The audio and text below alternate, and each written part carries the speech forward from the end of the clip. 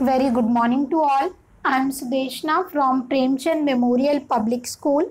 Students, today is Sanskrit class और आज हम पढ़ेंगे शब्द रूप ठीक है तो आप ध्यान से सुनिएगा स्टूडेंट्स बहुत ही ज़रूरी है शब्द रूप पढ़ने से पहले हमें कारकों को जानना भी आवश्यक है इन्हीं से क्या होता है स्टूडेंट हमारी विभक्तियाँ बनती हैं जो प्रथमा द्वितीय तृतीय चतुर्थी पंचमी षष्ठी सप्तमी और संबोधन होते हैं ठीक है स्टूडेंट्स चलिए जानते हैं। कारक शब्द का शाब्दिक अर्थ होता है करने वाला, ठीक है, जिसे हम कर्ता भी कह सकते हैं, क्योंकि कर्ता ही तो कार्य करता है। किंतु व्याकरण में यह एक पारिभाषिक शब्द है। जब किसी संज्ञा या सर्वनाम पद का संबंध वाक्य में प्रयुक्त अन्य पदों विशेषकर क्रिया के साथ जाना जाता है, उसे कारक कहते हैं। स्टूडेंट्स जो कर्ता होता है, जब उसका संबंध किसके साथ जाना जाता है? किसी अन्य पद के साथ। वाक्य में जब किसी अन्य पद के साथ या क्रिया के साथ जाना जाता है तो उसे कारक कहते हैं। ठीक है? अब देखिए विभक्ति। कारक को प्रकट करने के लिए संज्ञा या सर्वनाम के साथ जो चिन्ह लगाया जाता है, उसे विभक्ति कहते हैं। ठीक है? प्रत्येक कारक का विभक्ति चिन्ह होता है, किंतु हर कारक के साथ विभक्ति चिन्ह का प्रयोग हो, यह आवश्यक नहीं। स्टूडेंट्स जो कारक होते हैं, मैं आपको पहले ये बताती हूँ, कारक कितने होते हैं? संस्कृत और हिंदी में कारक आठ होते हैं। ठीक है? कर्ता, कर्म, करण, संप्रदान, अपादान, संबंध, अधिकरण और संबोध। ठीक है? इनके साथ क्या लगते हैं? विभक्ति चिन्ह लगते हैं। ठीक है? तो देखिए, कर्ता ने कर्म को करण से के द्वारा संप्रदान के लिए अपादान से पृथक करने के लिए, अलग करने के लिए, ठीक है? संबंध काके की या रारेरी अधिकरण में पर संबोध, ठीक है स्टूडेंट्स चलिए तो अब मैं आपको बताती हूँ इनका यूज़ कारकों का और विभक्ति का यूज़ कैसे करते हैं। तो मैं आज आपको बताने जा रही हूँ कवि के शब्द रूप, जो इकारांत शब्द है। कवि कौन सा शब्द है? इकारांत। क्यों? क्योंकि इसका अंत कहाँ पर हो रहा है? ई पर हो रहा है। ठीक है? चलिए, आगे बढ़ते हैं। ये देखिए, जब भी हम शब्द रूप लिखते हैं स्टूडेंट तो वहाँ पर उसमें तीन वचन होते हैं और विभक्ति होती हैं, ठीक है?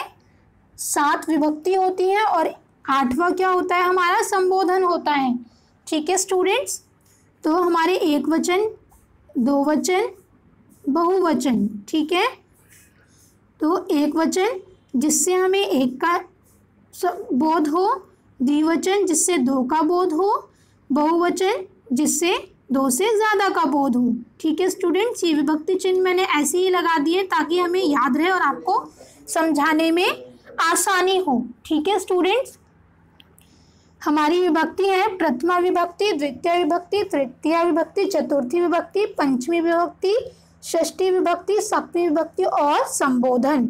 ठीक है तो चलिए शुरू करते हैं स्टूडेंट्स स्टूडेंट्स जो भी हमारी इकारांत पुल्लिंग शब्द होंगे। उसमें क्या होगा? हमें सिर्फ़ ये, जो रेड कलर से आपको दिख रहा है, सिर्फ़ ये याद रखने की ज़रूरत है। आगे के हम उन शब्द को चेंज कर देंगे, जैसे हमने धातु रूप में चेंज करे थे। ठीक है? सिर्फ़ मेन धातु को चेंज कर दिया, ऐसे इसमें शब्द चेंज कर देंगे। बाकी सब वही रहेगा। ठीक है? देखिए, कवि कवि कव्य तो यहाँ पर कौन सी विभक्ति होती है? प्रथमा और ने लगता है इसमें।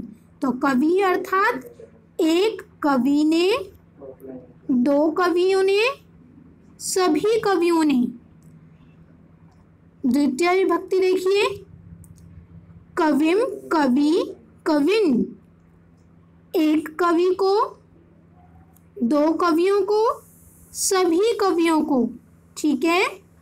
तृतीय विभक्ति, कविना, कविभ्याम। कवि भी। तो यहाँ पर क्या लगता है? से या के द्वारा। तो स्टूडेंट एक कवि से के द्वारा, दो कवियों से या के द्वारा, सभी कवियों से या के द्वारा। ठीक है? चतुर्थी विभक्ति, कविये कविभ्याम कविभ्य। यहाँ पर क्या लगेगा हमारी विभक्ति चिन्ह? के लिए। तो चलिए जानते हैं।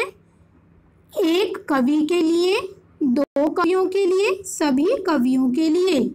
ठीक है? पंचमी विभक्ति, कवे कविभ्याम कविभ्य।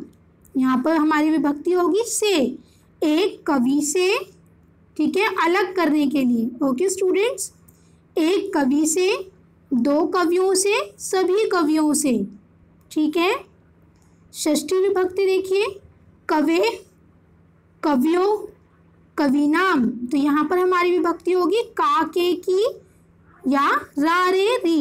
ओके स्टूडेंट्स तो एक कवि का, दो कवियों का, सभी कवियों का। ओके सप्तमी विभक्ति देखिए। कवो, कव्यो कविशु और यहाँ पर विभक्ति हमारी, विभक्ति चिन्ह कौन सा लगेगा? में या पर। एक कवि में या पर, दो कवियों में या पर, सभी कवियों में या पर। ओके? संबोधन देखिए। हे कवे, हे कवि, हे कव्य। तो जब हम कवियों को संबोधित करेंगे तो एक के लिए हम क्या बोलेंगे? हे कवे, अर्थात एक कवि और यहाँ पर क्या होगा? हे कवि मतलब दो कवियों और हे कव्य अर्थात सभी कवियों।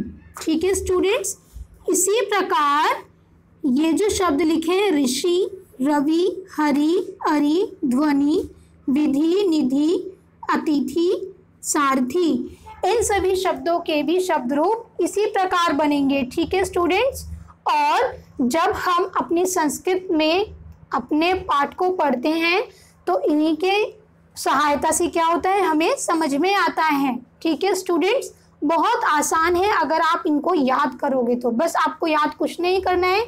ये याद कीजिए कीजिए, जो रेड में दिख रहा है आपको। बाकी सब क्या करोगे? आप ये सारे शब्द उसमें जोड़ दोगे तो उसके शब्द रूप बन जाएँगे। ठीक है स्टूडेंट्स तो आई एम श्योर स्टूडेंट्स आपको समझ में आया होगा। अगर ना समझ में आया हो स्टूडेंट्स वीडियो को बहुत बार देखिए, ठीक है? और जब भी कोई प्रॉब्लम आती है तो आप मुझसे पूछ सकते हैं, ठीक है? तो बाय बाय